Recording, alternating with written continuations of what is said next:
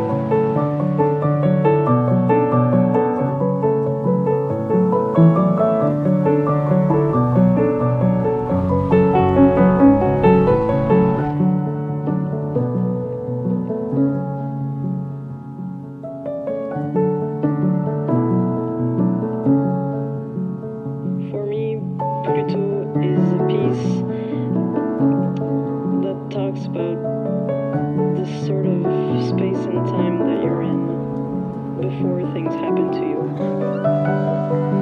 The sort of calm that you can feel when you don't know that some events are about to change you. It's the beginning of the trip.